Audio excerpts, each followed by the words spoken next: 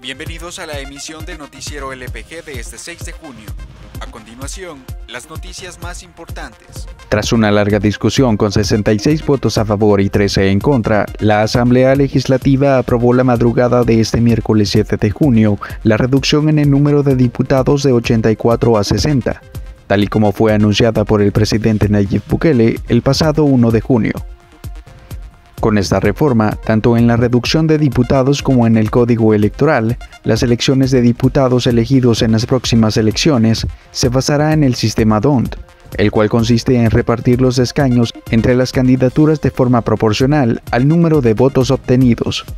Esta iniciativa forma parte de la propuesta presentada por el Ministerio de Gobernación para la reorganización territorial, donde también se pretende reducir el número de municipios a 44.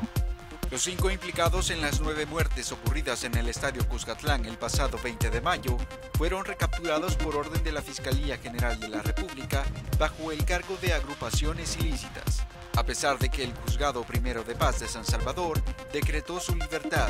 En un principio, los implicados fueron acusados por los delitos de homicidio culposo, lesiones culposas y estragos públicos, sin embargo, se decretó sobreseimiento definitivo y una suspensión de un año en el proceso por estragos públicos, a la espera de que los acusados cumplan con una serie de medidas para mejorar la seguridad en futuros eventos deportivos. Ante esta resolución del juzgado, la Fiscalía publicó en redes sociales que apelaría a la decisión. Uno de los abogados defensores, quien pidió reserva de su nombre para no recibir represalias, confirmó a la prensa gráfica sobre una nueva captura y que a la fecha no se ha presentado el requerimiento formal ni tampoco se ha hecho oficial.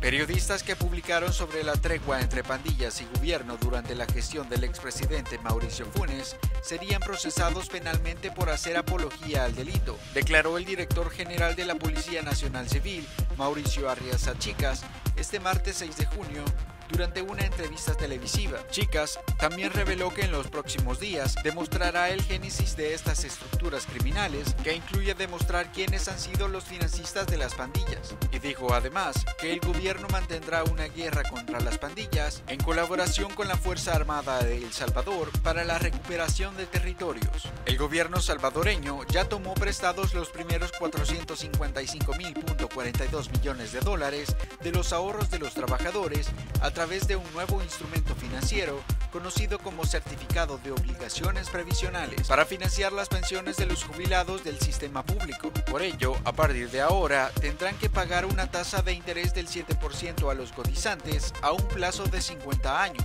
De acuerdo al Banco Central de Reserva, este dinero es el que se usará para pagar las pensiones de los jubilados del sistema de pensiones públicas que se derogó en 1998, pero que todavía tiene más de 88.167 personas a las que se les paga pensión por vejez, invalidez o sobrevivencia. Esto según los datos de enero de la Superintendencia del Sistema Financiero. Gracias por haberse informado con nosotros. Les esperamos mañana.